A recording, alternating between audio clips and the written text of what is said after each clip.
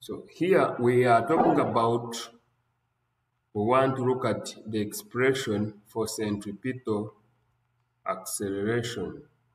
So if we consider a body moving in a circular path with the center O, if it starts at point A and goes to point B, at point A, the magnitude of its velocity, uh, if I draw a line tangential at point A, okay, at 90 degrees to OA, then that will represent the, will represent the magnitude of this velocity of the body.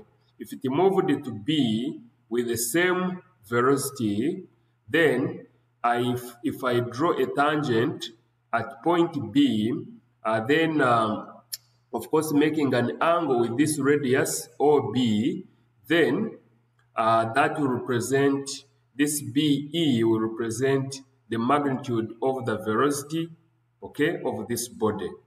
So I said if I take this change to be very small, if it is more, if it has moved from A to B in a very small time uh, del t, then at this point, uh, del t of sigma t, uh, then sigma theta is going to be a very small angle that is going to be uh, obtained here and it will be the same angle geometrically when you go beyond here you will see that this will be the same angle. So what happens uh, what happens I need to generate a vector diagram for these velocities. So if I draw a if I create a point O somewhere and I draw to scale a line that is um, perpendicular to AD to represent the magnitude of, um, of velocity, I can say maybe one centimeter on paper will represent 10 meters per second, depending on the magnitude of this velocity here. So I'll draw, I'll draw that line, and this will be OA. Okay, this is going to be representing vector A.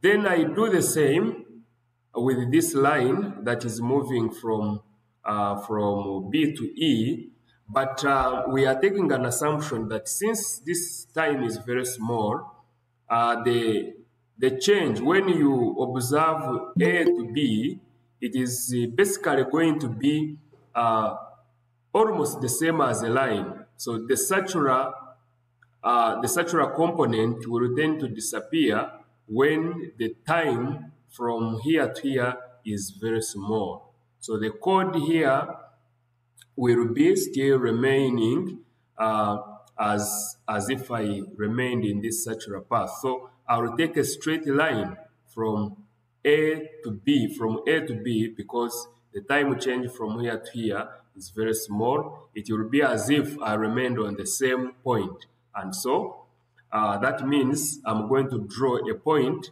from, um, uh, if I get the velocity, I'm going to draw a point, I mean a line, I'm going to draw a line that is, that is parallel to BE.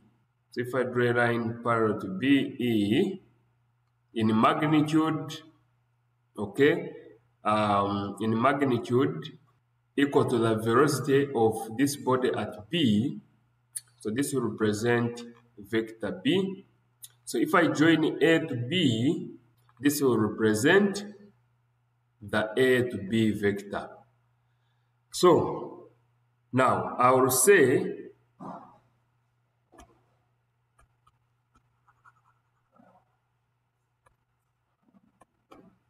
triangles, triangles O, A, B, and O, A, B are similar. So if they are similar, I can say that um, this AB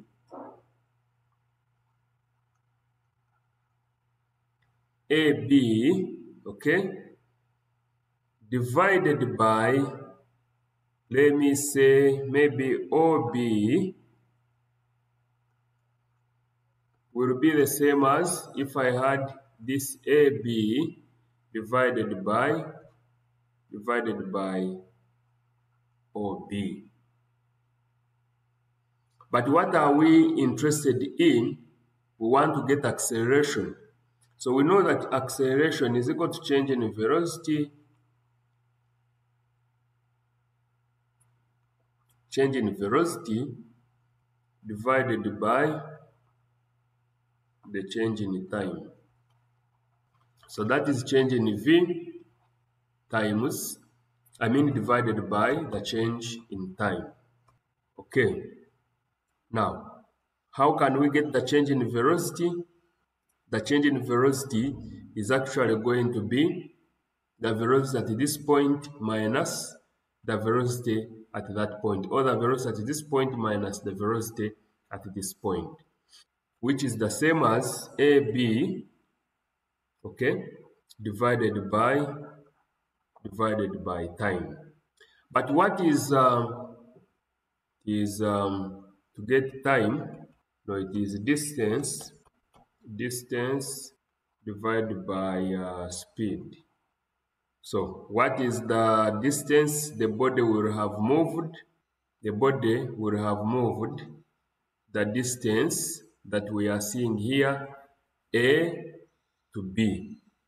So if it moves the distance A to B, um, okay, then what is the speed? What is the speed required for it to, to move from here to here?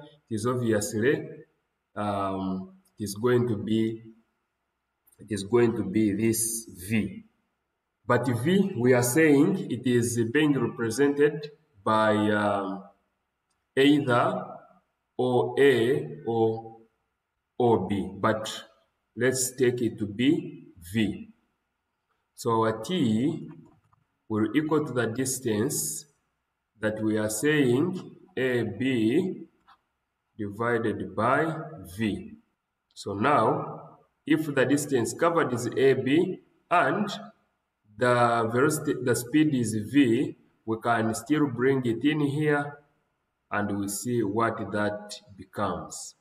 So acceleration will therefore equal to will therefore equal to AB okay divided by so this will be times V divided by uh, divided by but according to what we have here, from 1, where AB divided by OB is equal to small AB divided by OB.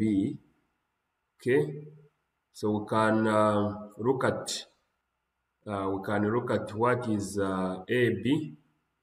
Okay, so our AB is equal to this AB um, times OB divided by this small OB.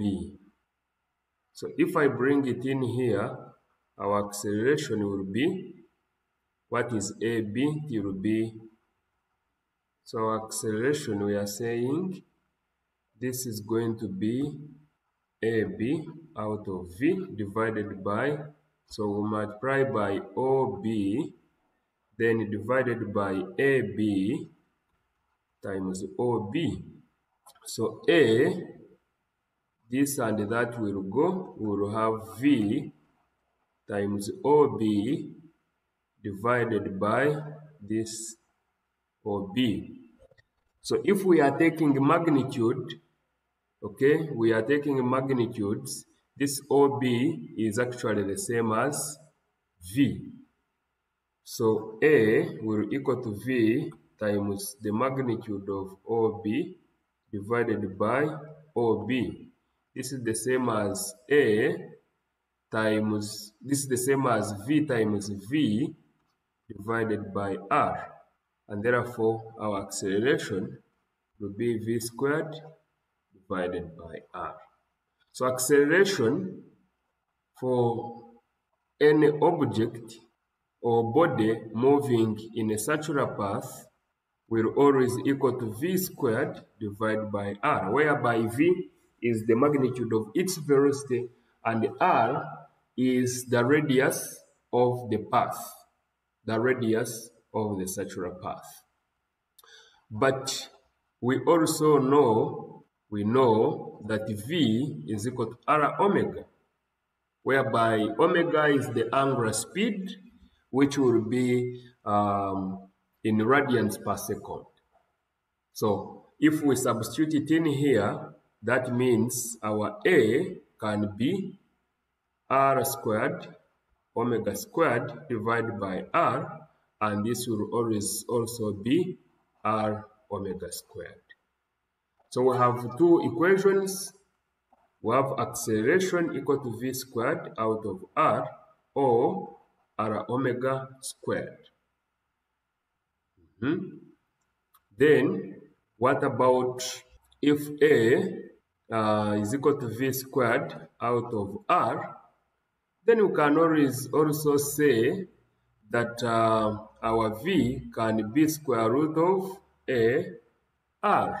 Okay, if you wanted this one to be now uh, in in terms of omega, then it will still come to be r omega.